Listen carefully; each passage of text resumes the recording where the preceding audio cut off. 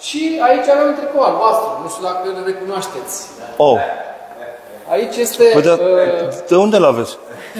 L-am dat la cineva? din Germania. Da, L-a trebuie să- făcut să- cadou la cineva. A, păi numai așa nu pot să-mi explic că nu... Ce vă aduceți aminte de, de la meciul ăsta, de la retragerea lui Heinz Müller? Golul Canada din Ușemet.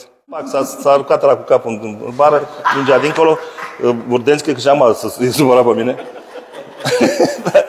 și vine ru- rumenii grani și, dar ce ai făcut, ai împiedicat?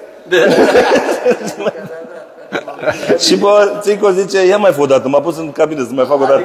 Da, da, deci că dacă, și acum face Neymar, după noi făceam acum 50 de ani. Și îl face acum Neymar, ăsta.